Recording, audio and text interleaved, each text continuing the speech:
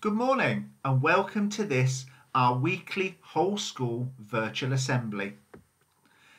As is the norm for me, I'd like to start by saying well done and thank you for following the government guidance to stay at home and in so doing protect the NHS and save lives.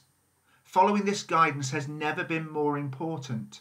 And although at the time of filming this whole school assembly, things may be about to change, I'd like to say well done and thank you for following that guidance over the last seven weeks. I'd also like to say well done and thank you for the way in which you've engaged with our remote learning. It today is the 25th day of remote learning. It feels like it's been much longer than that. But over the last 25 days, you have engaged with the work we've been setting. You've been receiving feedback from your teachers and your teachers have been telling me how incredibly, incredibly impressed they've been with the work that you've been providing them. And to show our recognition for that, and to start to get back to normal, whatever that normal might be, from today we're reintroducing our rewards process. We'll kick this off in a number of stages, but the first stage is that we've reintroduced hot chocolate with the head. Clearly, it wasn't possible to do that properly and share a cup of hot chocolate, but it is possible to do it virtually. And so I'd like to say congratulations to Sophie Black, to Tyler Bateman, to Bailey Simmons, to Ryan McFarland and Natasha Cooley for the work in which and the way in which they have engaged with our remote learning and have really put a huge amount of effort in. Each week, nominations will be received for the hot chocolate with the head from your pastoral leaders, and I will send a personal message to each and every one of you nominated, as I have to Sophie, to Tyler, to Bailey, to Ryan, and to Natasha this morning. So to them, congratulations on your nomination, and to all of you, well done and thank you for the way in which you've engaged with our remote learning over the last 25 days. As you'll know, each of these assemblies now takes a theme, a theme of something that's happening in the week ahead. And this week, most poignant as all of all so far, is that tomorrow, on Tuesday the 12th of May, it's International Nurses Day. It couldn't have come at a better time, and it couldn't be more important than it currently is to say well done and thank you to the nurses and care professionals who have been supporting us through this time. It's interesting, or at least I think it is, that International Nurses Day is on the 12th of May because that's the anniversary of Florence Nightingale's birth. This year, International Nurses Day coincides with the 200th anniversary of Florence Nightingale's birth, and it also coincides with the year 2020 being the year of the nurse and midwife. Indeed, I'm sure that, that this year was chosen because of the 200th anniversary of Florence Nightingale's birth. But who is Florence Nightingale and what difference did she make to modern nursing?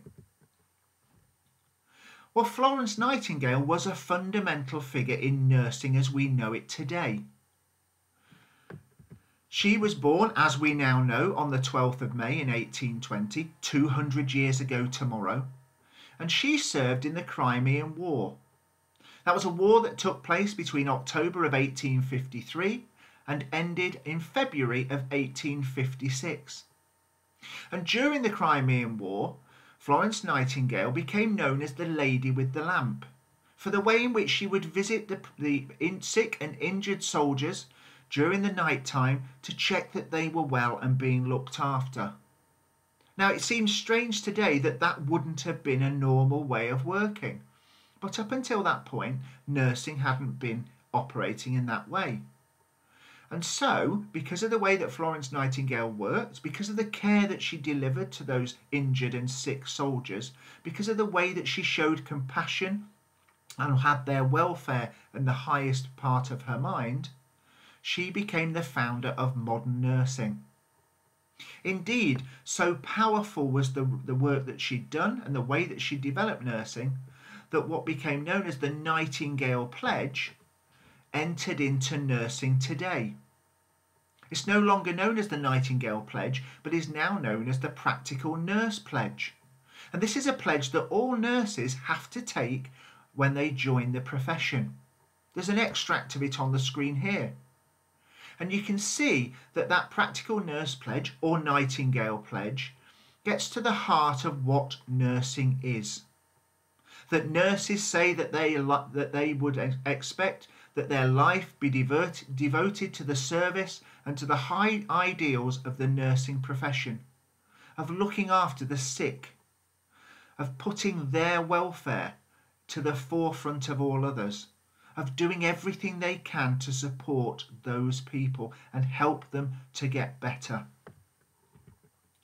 Indeed, the Nightingale hospitals, which have been set up during this coronavirus pandemic, those six hospitals around the country, seven hospitals around the country, I should have said, were named after Florence Nightingale because we know and think of her as a leader in nursing. In fact, the International Nurses Day this week and the clap for our carers, which we take part in every Thursday, is more poignant now than it has ever been, as it coincides with our International Nurses Day week. And let's always remember that nursing, our care and NHS heroes, past and present, have never been more important to us.